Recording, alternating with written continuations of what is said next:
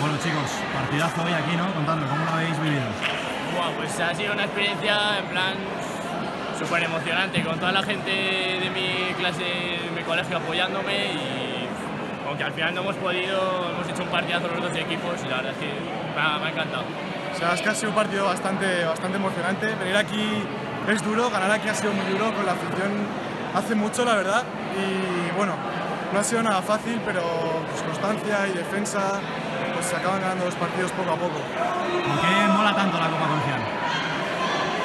Pues porque es algo que es único, es algo que se pasa cada vez, una vez cada año, una copa y yo creo que a todos nos gusta ganar y sobre todo competir y jugar. O sea, representar a un colegio es muy importante, es algo que da, da coraje, ¿no?